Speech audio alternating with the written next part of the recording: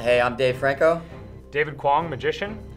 Uh, I taught Dave the basics of card throwing. I'm not really that good at it, but uh, Dave can throw a card uh, faster and farther than anyone I've ever met. So uh, it's all on the wrist, right? It's a lot of pressure, but yes, it's all on the wrist. um, so basically, if you know the technique, it's not that difficult. Take your card, take your middle finger, your pointer finger, snap them over that corner of the card.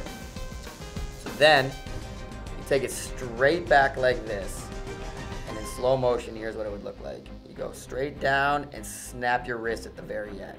So it's like this, snap your wrist. So this would be awesome if I could hit the camera. Oh, right over, not bad. Let's hit the camera right now. One more time. One more time.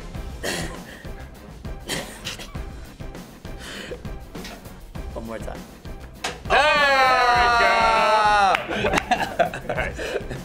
Deadly weapon. Four times. Four, times. four times. That's not not bad. That's not bad.